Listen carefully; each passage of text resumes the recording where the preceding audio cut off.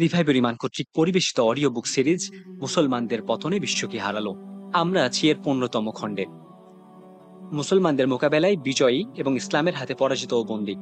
সে যাই হোক তাতারিরা ইরাক থেকে নিয়ে ইরান, তুর্কিস্তান পর্যন্ত সমগ্র এলাকা দখল করেছিল এবং স্বয়ং রাজধানী বাগদাদ ছিল তাদের দখলে। একটি অর্থবন্য মূর্তি পূজারী জাতিগোষ্ঠীর পক্ষে মুসলিম জাহানের শিক্ষা এবং সভ্যতার কেন্দ্রের উপর দখল জমে বসে থাকা এমন একটা দুঃখজনক ঘটনা ছিল, যার প্রভাব গোটা মুসলিম জাহান, সমগ্র জীবন জিন্দেগি, সভ্যতা, সংস্কৃতি এবং নৈতিকতার উপর পড়েছিল। মুসলিম জাহানে কোনো শক্তি এমন ছিল না। যা তাদেরকে ইরাক থেকে বেদখল করতে পারে বা উৎখাত করতে পারে। এ সময় ইসলামের আধ্যাত্মিক এবং বশীকরণ শক্তির এক মুজিজা প্রকাশিত হয় এবং কতিপয় অজ্ঞাত পরিচয় মুসলিম দায়ী এবং মুসলিম দরবারি আমির উমারার মনোযোগ এবং চেষ্টার ফলে তাতারি সুলতান ও আমির উমারার মধ্যে ইসলামের প্রচার শুরু হয়ে যায়। আর এভাবেই এই অজেয় জাতিগোষ্ঠীকে জয় করে নেয়, যারা সমগ্র মুসলিম জাহানকে একবার জয় করে নিয়েছিল। ঐতিহাসিক ইবনে কাছির ছয়শো চুরানব্বই হিজড়ির ঘটনাবলী বর্ণনায় লিখেছেন এবছর চেঙ্গিজ খানের পত্রীয় কাজান ইবনে আরগুন, ইবনে ইগা, ইবনে তুলি, ইবনে চেঙ্গিজ খান তাতারিদের বাদশাহ হন এবং আমির তুজুন রহিমাহুল্লাহ এর হাতে প্রকাশ্যে ইসলাম গ্রহণ করেন। তাতারিরা প্রায় সকলেই বা এর বেশিরভাগ ইসলামে দীক্ষিত হন। যেদিন বাদশাহ ইসলাম কবুল করেন, সেদিন মানুষের উপর স্বর্ণরৌপ্য এবং মতি বর্ষণ করেন। বাদশাহ মাহমুদ নাম ধারণ করেন এবং জুমুয়া এবং খুদ্বাই শরিক হন। বহু পত্তলিক মন্দির তিনি ধ্বংস করেন এবং অমুসলিমদের উপর জিজিয়া কর ধার্য করেন। বাগদাদের উপর অপরাপর শহর থেকে লুটকৃত জিনিসপত্র ফেরত দেওয়া হয়। লোকেরা তাতারিদের হাতে তাসবিমালা দৃষ্টে আল্লাহর অপার অনুগ্রহ এবং বদান্যতার জন্য সুক্রিয়া আদায় করেন। মুসলিম জাহানে তাতারি হামলা, প্রভাব এবং প্রতিক্রিয়া। তাতারি আক্রমণের ফলে মুসলিম জাহানে এমন এক ধাক্কা লাগে যা সামাল দেওয়ার জন্য বহু সময়ের দরকার ছিল। তাতারি হামলার ফলে মুসলিমদের চিন্তা শক্তিতে নির্জীবতা এবং উদাসীনতা এবং তাবিয়াতে হতাশা, স্থাবরিতার জন্ম নেয়। এই হামলার ফলে ধর্মীয় জ্ঞান বিজ্ঞান, সাহিত্য, কাব্য, রচনা, নৈতিক চরিত্র আচার আচরণ সামাজিক এবং সবকিছুর উপর প্রভাব পড়েছিল। জ্ঞান ও সাহিত্য ভাণ্ডার, নতুন নতুন দিক বিনির্মাণ, সংস্কার নির্মাণ, উন্নয়ন, সাধনের পরিবর্তে এখন জ্ঞানী গুণী, দিন ধর্মের ধারক বাহকেরা কোনো মতে বর্তমান পুঁজির রক্ষণাবেক্ষণ এবং হেফাজতের যুক্তিসম্মত চিন্তা করার চিন্তায় ব্যস্ত হয়ে পড়েন। মানব সভ্যতার এ ছিল এক বিরাট দুর্ভাগ্য যে দুনিয়ার নেতৃত্বের বাগডোরে সেই সব মূর্খ এবং বন্য জাতিগোষ্ঠীর হাতে গিয়ে পড়েছিল, যাদের না ছিল কোনো আসমানি ধর্ম আর না ছিল জ্ঞান, বিজ্ঞান, সভ্যতা, সংস্কৃতির মালিকানা। তাদের নেতৃত্বাধীনে কোনো প্রকার জ্ঞানগত, ধর্মীয় এবং উন্নতি আশা করা যেতে পারে না। তাদের ইসলাম কবুলের পরও যদিও মুসলিমরা তাদের ধ্বংসযোগ্য এবং রক্তপাতের হাত থেকে নিরাপদ হয়ে গিয়েছিল, কিন্তু তাদের ধর্মীয় স্বাধীনতাও মিলেছিল। ইসলাম শাসক শ্রেণির ধর্ম বনে গিয়েছিল, কিন্তু এইসব ন মুসলিম তাতারিদের মধ্যে আর যাই হোক ধর্মীয় এবং তত্ত্বগত নেতৃত্ব দেবার এবং ইসলামী ইমামতের যোগ্যতা ও সামর্থ্য ছিল না। এই যোগ্যতা ও সামর্থ্য পয়দা হবার জন্য এক দীর্ঘ সময়ের দরকার ছিল। সেই মুহূর্তে এমন একটি জীবন্ত, প্রাণবন্ত, উন্নত, মনোবল সম্পন্ন মুজাহিদ চরিত্রের অধিকারী জাতিগোষ্ঠীর প্রয়োজন ছিল, যারা পতনমুখ মুসলিম জাহানকে সামাল দিতে পারে।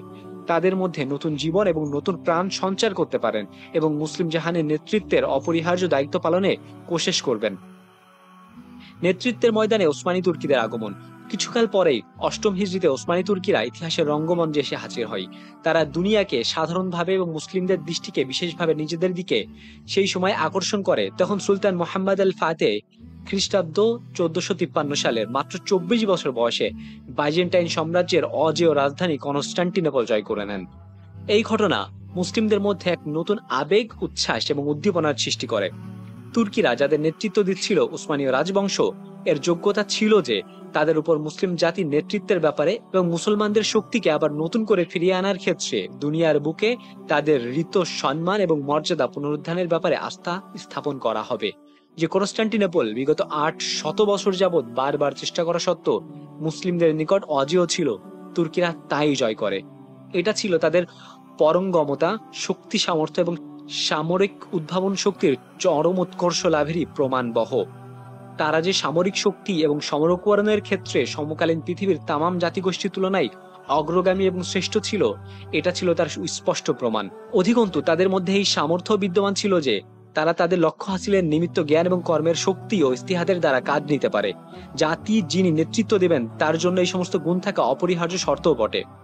পাশ্চাত্য লেখক ব্যারন কার্রাডি ভক্স তার বিখ্যাত গ্রন্থ ইসলামিক থিঙ্কারের প্রথম খণ্ডে সুলতান মোহাম্মদ আল ফাতে সম্পর্কে লিখতে গিয়ে বলেছেন The victory of Muhammad, the conqueror, was not a gift of a fortune or the result of an earnest empire having growth weak. The Sultan had been preparing it for a long time. He had been advantage of all existing scientific knowledge. The common had just been invaded, and he decided to keep himself with the biggest cannon in the world. And for this, he acquired the service of the Hungarian engineer who constructed a cannon that can fire a ball weight 300 kilograms to a distance of one mile. It is said that this cannon can pull by 700 men and took two hours to be loaded. Muhammad marched upon Constantinople with 300,000 soldiers and a strong artillery. His fleet, which besieged the city from the sea, consisted of 120 warships. By great ingenuity, the Sultan resolved to send a part of his fleet by land. He launched 70 ships into the sea from the direct of the Qasim Pasha by, by carrying them over wooden board upon which fat had been applied to make them slippery. এই বিজয় কেবল ভাগ্যের জোরে কিংবা আকস্মিকভাবে হঠাৎ করে অর্জিত হয়নি এর কারণ এও ছিল না যে বাইজেন্টাইন সাম্রাজ্য দুর্বল হয়ে গিয়েছিল আসল কারণ এই ছিল যে সুলতান মোহাম্মদ অনেক আগে থেকে এর জন্য প্রয়োজনীয় ব্যবস্থা গ্রহণ করছিল। তার যুগের জ্ঞান বিজ্ঞানে যতগুলো শক্তি ছিল, সেসবের সাহায্য নিচ্ছিলেন। সেই সময় নতুন নতুন কামান আবিষ্কৃত হচ্ছিল। তিনি সে যুগের যত বড় বিরাট এবং শক্তিশালী কামান তৈরি করা সম্ভব, তার জন্য চেষ্টা চালান। এজন্য তিনি হাঙ্গেরির থেকে ইঞ্জিনিয়ার কাজে লাগান। তিনি সুলতানের চাহিদা অনুযায়ী এমন একটি কামান তৈরি করেন, যার সাহায্যে তিনশো কিলোগ্রাম ওজনের গোলা এক মাইল দূরে নিক্ষেপ করা যেত। কথিত আছে যে, এই কামান টেনে নেওয়ার জন্য সাত শত লোকের প্রয়োজন পড়ত। এতে গোলা ভর্তি করার জন্য দুই ঘণ্টা সময়ের দরকার হতো। সুলতান মোহাম্মদ ফাতে যখন কনস্টান্টিনেবল বিজয়ের জন্য বহির্গত হন, তখন তিনি তিন লক্ষ সৈন্য তার অধীনস্থ ছিল আর ছিল বিপুল সংখ্যক শক্তিশালী কামান। একশো বিশটি জাহাজ সম্বলিত একটি নৌবহর কনস্টান্টিনেপলকে সমুদ্রের দিক থেকে অবরোধ করে রেখেছিল। তিনি তার আবিষ্কার এবং উদ্ভাবনী শক্তির সাহায্য সিদ্ধান্ত নেন সামরিক বহরের একটি অংশ স্থলভাগ দিয়ে উপসাগর পর্যন্ত টেনে নিয়ে যাওয়া হবে। এ উদ্দেশ্যে তিনি কাঠের গুড়িগুলোকে চেঁচে ছুলে তার উপর চর্বি মাখিয়ে তার উপর দিয়ে জাহাজের বহর টেনে নেওয়ার ব্যবস্থা করেছিলেন। আর এভাবে কাশেম পাশার অধীনে সত্তরটি জাহাজ সমুদ্রে ভাসিয়েছিলেন। সুলতান মোহাম্মদ আল ফাতে সম্পর্কে ইউরোপ একটি ভীতি এবং সন্ত্রস্ত ছিল যে তার ইন্তিকালে রোমের পোপ আনন্দ উৎসব করার নির্দেশ দিয়েছিলেন এবং তিন দিন অব্যাহতভাবে কৃতজ্ঞতা স্বরূপ ঈশ্বরের উদ্দেশ্যে প্রার্থনা করার নির্দেশ জারি করেছিলেন। তুর্কিদের বৈশিষ্ট্য তুর্কি মুসলিমদের মধ্যে এমন কিছু বৈশিষ্ট্য ছিল যদ্দরুন তারা মুসলিমদের নেতৃত্ব দেবার অধিকার রাখত। তাদের সে বৈশিষ্ট্যগুলো ছিল নিম্নরূপ। এক, তারা ছিল উন্নত মনোবল সম্পন্ন উৎসাহদিত্য এবং প্রাণ প্রাচুর্যে ভরা একটি জীবন্ত জাতি, যাদের মধ্যে জিহাদি রুহ সক্রিয় ছিল যারা বেদুইন জিন্দেগি, সহজ সরল এবং অনাড়ম্বর জীবনের কাছাকাছি অবস্থান করার কারণে তাদের নৈতিক, চারিত্রিক এবং সামাজিক রোগব্যাধির হাত থেকে নিরাপদ ছিল। যেসব রোগে প্রাচ্যের ভূখণ্ড, অন্যান্য মুসলিম জাতিগোষ্ঠী আক্রান্ত হয়ে দুর্বল হয়ে পড়েছিল। দুই, তাদের কাছে এমন এক সামরিক শক্তি ছিল, যা দিয়ে তারা ইসলামের বস্তুগত, আধ্যাত্মিক প্রাধান্য কেবল বজায় রাখতেই নয় বরং চতুর্দিকে ছড়িয়ে দিতে এবং প্রতিদ্বন্দ্বী প্রতিপক্ষ জাতিগুলোর আগ্রাসন প্রতিরোধ করতে পারে এবং দুনিয়ার নেতৃত্বের আসনে সমাসীন হতে পারে। একই সময় উসমানী সালতানাত তিনটি মহাদেশ, অর্থাৎ এশিয়া, আফ্রিকা এবং ইউরোপের বুকে রাজত্ব করত। মুসলিম প্রাচ্য ইরান থেকে শুরু করে মরক্কো অবধি তাদের অধীনে ছিল। এশিয়া মাইনর তারা পদনত করে রেখেছিল। ইউরোপের অগ্রাভিযান তারা চালিয়ে যাচ্ছিল, ভিয়েনার দোরগোড়ায় তারা পৌঁছে গিয়েছিল। ভূমধ্য সাগরের উপর ছিল তাদের একচ্ছত্র অধিপতি। এর উপর অন্য কোনো জাতি কিংবা সাম্রাজ্যের প্রভাব ছিল না। রুশ সম্রাট পিটার দি গ্রেটের আস্থাভাজন এক বন্ধু একবার কনস্টান্টিনেপল থেকে সম্রাটকে লিখেছিলেন যে, সুলতান কৃষ্ণসাগরকে নিজের ব্যক্তিগত বা ঘরোয়া সম্পদ মনে করেন, যেখানে অন্য কারুর প্রবেশাধিকার নেই। তুর্কি নৌবহরের মোকাবেলায় সমগ্র ইউরোপ মিলেও করতে পারত না। পনেরোশো সাতচল্লিশ খ্রিস্টাব্দ পোপের আহ্বানে ভেনিস, স্পেন পর্তুগাল মাল্টার সম্মিলিত নৌবহর তুর্কি নৌবহরকে পর্যাদুস্ত করার প্রয়াস পায়, কিন্তু নিদারুণভাবে পরাজিত হয়। সুলতান সুলেইমানের শাসনামলে কি স্থলভাগ আর কি জলভাগ? সমগ্র তুর্কিদের রাজনৈতিক এবং আধ্যাত্মিক প্রভাব প্রতিষ্ঠিত হয়। তার আমলে উসমানীয় সালতানাতের সীমারা উত্তরে সাভা দরিয়া দক্ষিণে নীল নদের উৎসমুখ এবং ভারত মহাসাগর। পূর্বে ককেশাস পর্বতমালা, পশ্চিমে অ্যাটলাস পর্বতমালা পর্যন্ত পৌঁছে গিয়েছিল। তার শাসনাধীন এলাকা চার লক্ষ বর্গ মাইল পর্যন্ত বিস্তৃত ছিল। তুর্কি নৌবহর ছিল তিন হাজার সামরিক জাহাজ। একমাত্র রোম ছাড়া প্রাচীন আমলে প্রায় সব বিখ্যাত শহর ছিল তুর্কি সুলতানদের অধীনে। সমগ্র ইউরোপ তুর্কিদের ভয়ে কাঁপত। তাদের বড় বড় রাজা বাদশারা তুর্কি সুলতানদের আশ্রয়ে থাকাকেই বেশি নিরাপদ ভাবত। তাদের সম্মানে গির্জায় ঘন্টায় ধ্বনি থেমে যেত। তিন আন্তর্জাতিক নেতৃত্ব উপযোগী সর্বোত্তম কৌশলগত ভৌগোলিক কেন্দ্র ছিল তাদের হাতে। তারা বলকান উপদ্বীপ থেকে একই সময় এশিয়া এবং ইউরোপে খবরদারি করতে পারত। তাদের রাজধানী ছিল কৃষ্ণ সাগর এবং মর্মর সাগরের মধ্যবর্তী এলাকায় এবং ইউরোপ এবং এশিয়ার সঙ্গমস্থলে। ফলে একই সাথে তিনটি মহাদেশ, ইউরোপ, এশিয়া এবং আফ্রিকা, খবরদারি করার জন্য এটাই ছিল সর্বোত্তম রাজধানী। তাই নেপোলিয়ন একবার বলেছিলেন If a world government ever come to establish, Constantinople alone would be the ideal capital for that. অর্থাৎ যদি কোনোদিন সমগ্র বিশ্বব্যাপী এক অখণ্ড সাম্রাজ্য কায়েম হয় তবে এর রাজধানী হিসেবে কনস্টান্টিনেপলি হবে সর্বোত্তম স্থান। তুর্কিদের অবস্থান ছিল সেই ইউরোপ ভূখণ্ডের নিকট ভবিষ্যতে যে ভূখণ্ডটি বিরাট গুরুত্বপূর্ণ এবং অবস্থানগত মর্যাদা লাভ করতে যাচ্ছিল। জীবনের শক্তি সামর্থ্য এবং উন্নতি অগ্রগতির যাবতীয় উপাদান উপকরণ তার মধ্যে উথাল পাথাল করছিল। যদি আল্লাহ পাক তৌফিক দিতেন, তাহলে তুর্কিদের পক্ষে ইলম ও আকল তথা জ্ঞান বিজ্ঞান ও বুদ্ধিবৃত্তির ময়দানে অগ্রসর হয়ে ইউরোপের খ্রিস্টান জাতিগোষ্ঠী বিজয়ী হয়ে বিশ্ব নেতৃত্বের বাগডোরে হাতে তুলে দেওয়ার আগে বিশ্ব নেতৃত্বের আসীনে সমাসীন হয়ে গোটা দুনিয়াকে ধ্বংসের হাত থেকে বাঁচানো এবং তাকে সত্য এবং হেদায়েতের প্রশস্ত মঞ্জিলের অভিমুখে পরিচালিত করা সম্ভব ছিল। যে সত্য এবং স্পষ্ট দিক নির্দেশনা, অর্থাৎ হেদায়াত, এর উজ্জ্বল আলোকবর্তিকা তারা ইসলামের বদৌলতে লাভ করেছিল। তুর্কিদের অধপতন, কিন্তু তুর্কি জাতির বরং মুসলিম জাতির ততোধিক দুর্ভাগ্য যে, উন্নতি, অগ্রগতি, উত্থান যুগে তুর্কিদের পতন শুরু হয়ে যায় এবং প্রাচীন জাতিগুলোর পুরাতন রোগ ব্যাধিতে তারাও আক্রান্ত হয়ে পড়ে। তাদের পরস্পরের ভিতর হিংসা, বিদ্বেষ এবং পরশ্রিকাতরতা দেখা দিলে সুলতান স্বেচ্ছাচারী হয়ে উঠতে লাগলেন। শাসকদের প্রশিক্ষণ ব্যবস্থা বিগড়ে যায়। চারিত্রিক অধপতন শুরু হয়। প্রশাসক বৃন্দ এবং সিপাহসালার জাতি ও সাম্রাজ্যের সঙ্গে বেইমানি এবং গাদ্দারি করতে থাকে। জাতির মধ্যে আরামপ্রিয়তা এবং আয়াসী জীবনের প্রতি আকৃষ্টতা সৃষ্টি হতে থাকে। মোটের উপর পথনমুখ জাতির সর্বপ্রকার দোষ ত্রুটি সৃষ্টি হয়ে যায়। যে সবের বিস্তারিত বিবরণ তুর্কিদের ইতিহাস গ্রন্থগুলোতে মিলবে, এখানে সেসব পেশ করার কোনো সুযোগ নেই। তুর্কি জাতির স্থাবরতা এবং পশ্চাৎপদতা। সবচেয়ে বড় যে রোগটি তুর্কিদের মধ্যে দেখা দিয়েছিল তা হলো জ্ঞান বিজ্ঞান এবং শিক্ষার ক্ষেত্রে জড়তা এবং স্থাবরিতা। সমরাষ্ট্র সামরিক সংগঠন এবং উন্নতি অগ্রগতির ক্ষেত্রে তারা বেমালুম ভুলে গিয়েছিল কোরআন মাজিদের আয়াত। তোমরা তাদের মোকাবেলার জন্য যথাযথ শক্তি এবং অশ্বাবাহিনী প্রস্তুত করে রাখবে। এর দ্বারা তোমরা সন্ত্রস্ত করবে আল্লাহর শত্রুকে এবং তোমাদের শত্রুকে।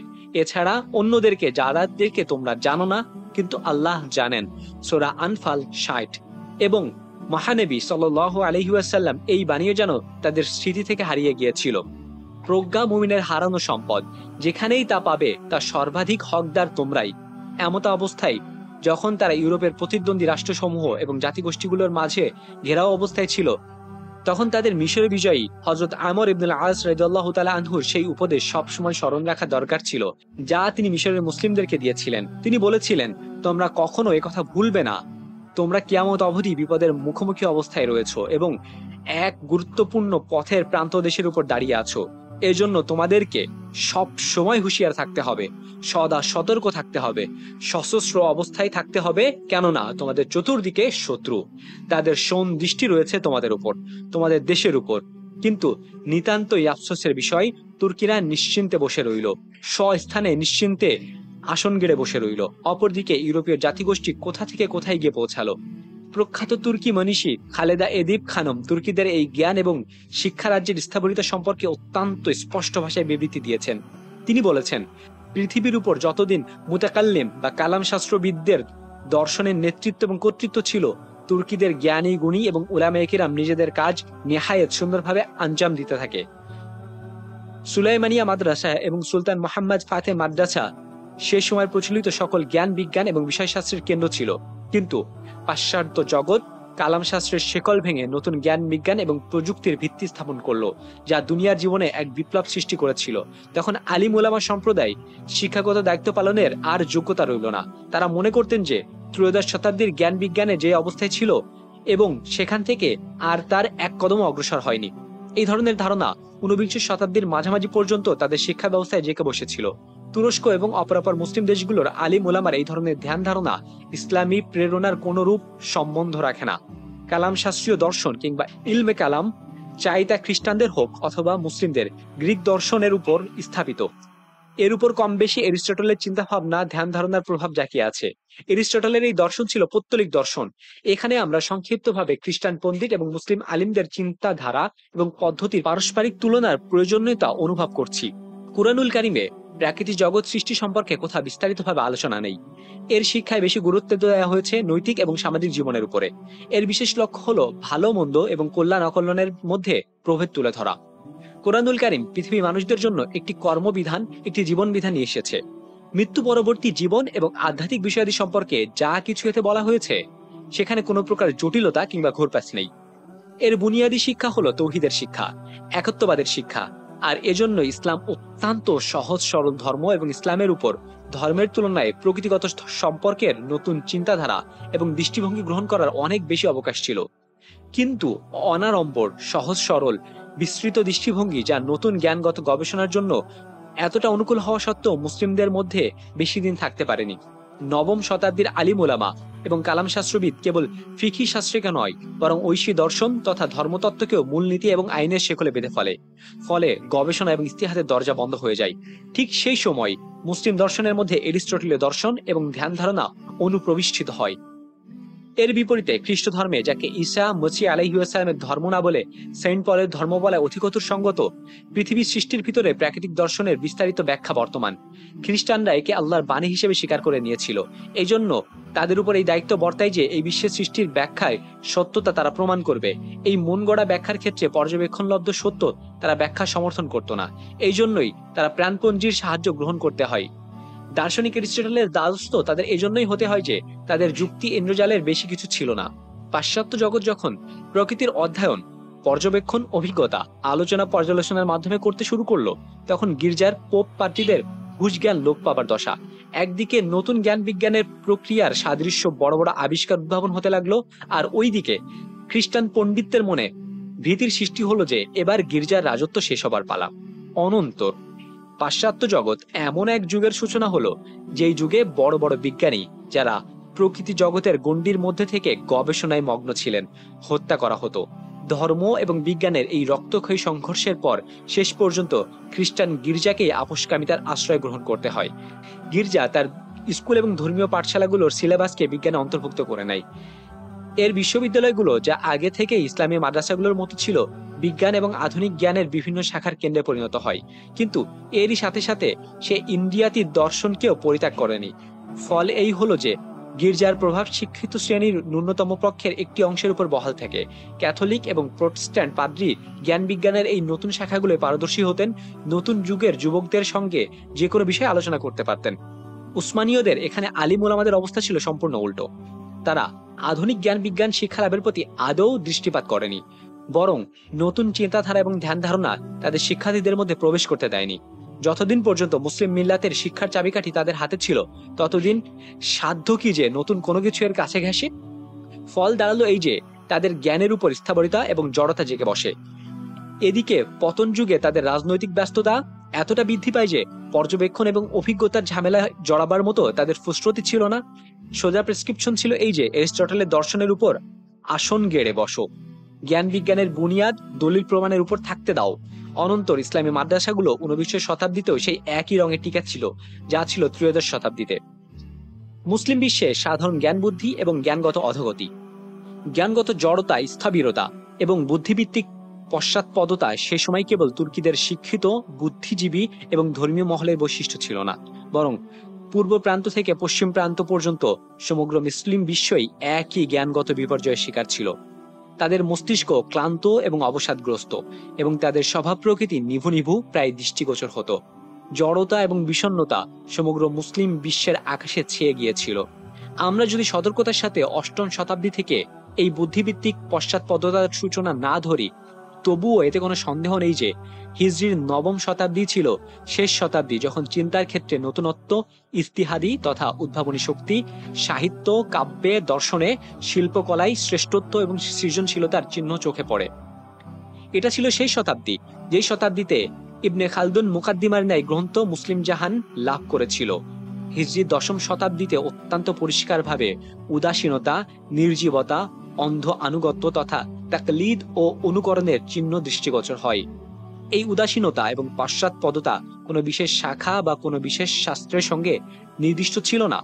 ধর্মীয় জ্ঞান বিজ্ঞান কাব্য সাহিত্য, রচনা, ইতিহাস, শিক্ষা পাঠ্যক্রম এবং শিক্ষা ব্যবস্থা সবকিছুই কম বেশি দ্বারা প্রভাবিত দৃষ্টিগোচর হয়। বিগত শতাব্দীগুলো আলিম ওলামার আলোচনা এবং জীবনী গ্রন্থসমূহ পাঠ করুন। শত শত নামের মধ্যে এমন একজনের নাম মেলা ভার হবে, যাকে ক্ষণজন্মা প্রতিভা হিসেবে আখ্যায়িত করা চলে, কিংবা যিনি কোনো বিষয়ে নতুন কোনো কিছু পেশ করেছেন অথবা জ্ঞান বিজ্ঞানের কোনো শাখায় কোনো মূল্যবান সংযোজন ঘটিয়েছেন। বিগত শতাব্দীগুলোতে আমরা কয়েকজনকে এর বাইরে রাখতে পারি, যারা নিজেদের যুগে সাধারণত শিক্ষাগত এবং বুদ্ধিভিত্তিক মানের দিক থেকে বহু ঊর্ধ্বে অবস্থান করতেন। যারা ধর্মীয় ক্ষেত্রে কিংবা শিক্ষা ময়দানে বিরাট কোনো বিপ্লবাত্মক অবদান রেখেছেন অথবা জ্ঞানের ক্ষেত্রে যুগান্তকারী কৃতিত্ব দেখিয়েছেন। সৌভাগ্যের বিষয়, ব্যতিক্রমী এই মনীষীগণ সকলেই ভারতীয় উপমহাদেশের। এদের মধ্যে অন্যতম হজরত শায়ক আহমদ শারহিন্দি মুজাদ্দিদ আলফেসানি, যার লিখিত মাকতুবাদ, পত্র সংকলন, ইসলামী ইলম এবং ধর্মীয় পুঁজির ভাণ্ডারে এক মূল্যবান সংযোজন ঘটিয়েছে এবং তিনি সমগ্র মুসলিম জাহানের উপর গভীর প্রভাব ফেলেছেন। দ্বিতীয়জন হলেন হজরত শাহ ওয়ালিউল্লাহ মুজাদ্দিদ দেহলবি যার লিখিত হুজ্জাতুল্লিল্লাহ বালিগা, ইজ্জাতুল খিফা আল খৌফাতুল কবির ও রিসায়ালাতুল ইনসাফ নামক গ্রন্থ স্বশা ক্ষেত্রে একক এবং অনন্য। তৃতীয়জন তারই পুত্র শাহ রফিউদ্দিন দেহলবি যার তাকলিমুল্লুন তাকমিলুল আদহান ও রিসাসা আসরারুল মোহাব্বত নামক গ্রন্থ কতক বিষয়ে নতুন চিন্তা এবং ধ্যান ধারণা পেশ করেছিল।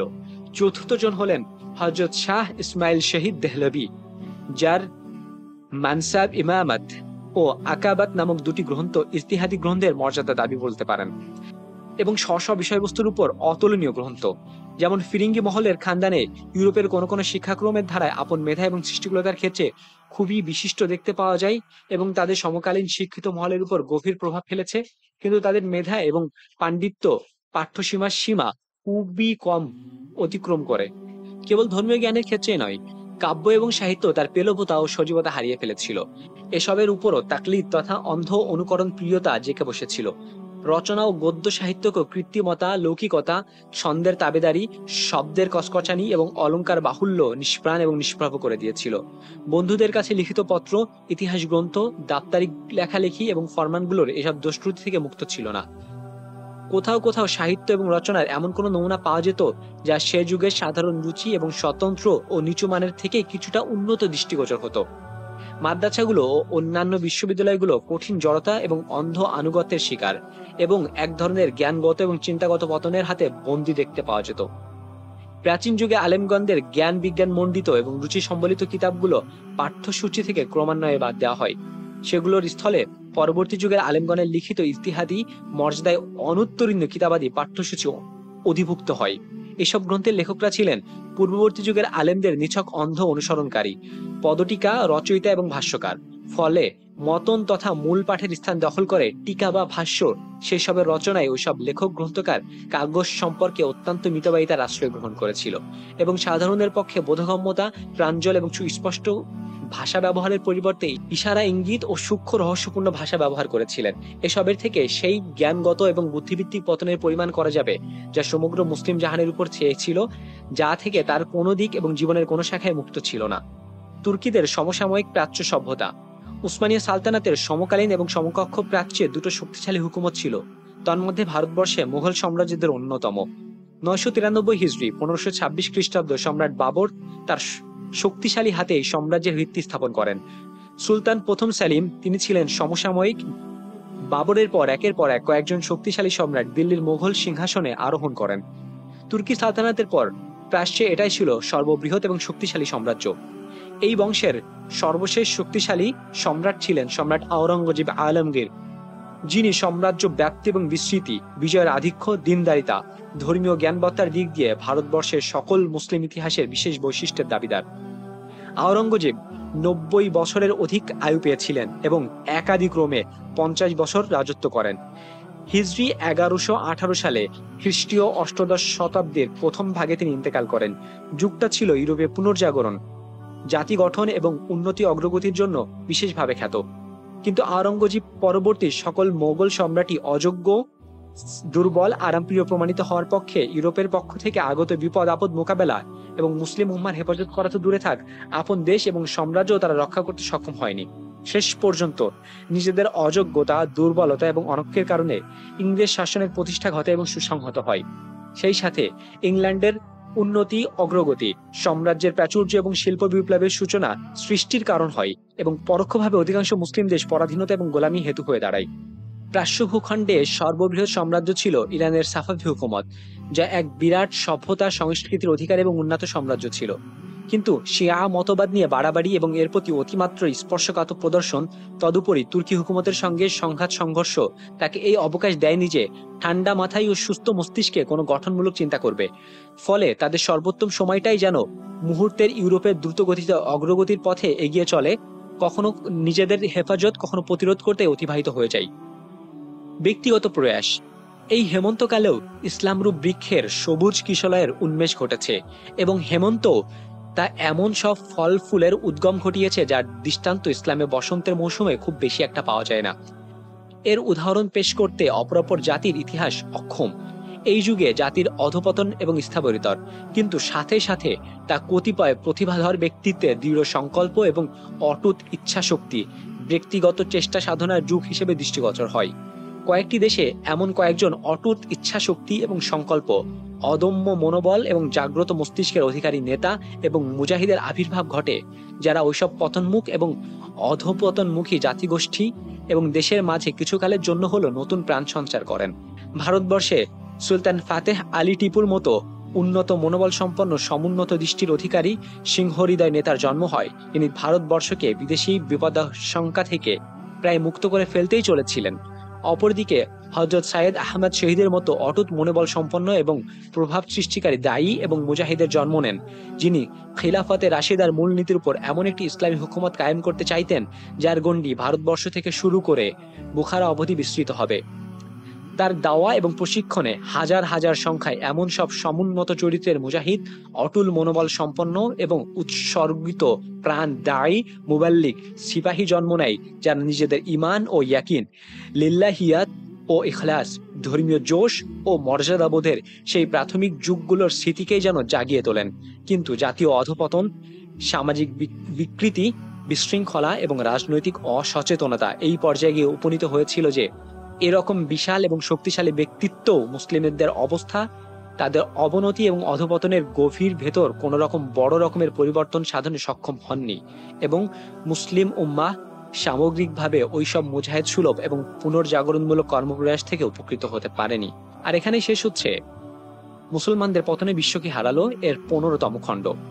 যারা এখনও চ্যানেলটিকে সাবস্ক্রাইব করেনি, তারা চ্যানেলটিকে সাবস্ক্রাইব করে দেন এবং এই ভিডিও থেকে আপনাদের কাছ থেকে আমরা একশোটি লাইক আশা করছি আপনারা আমাদেরকে হতাশ করবেন না।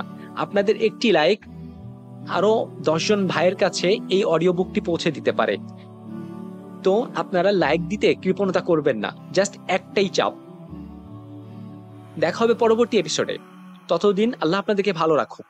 আসসালামু আলাইকুম ওরহমতুল্লাহ বারাকাতুহ।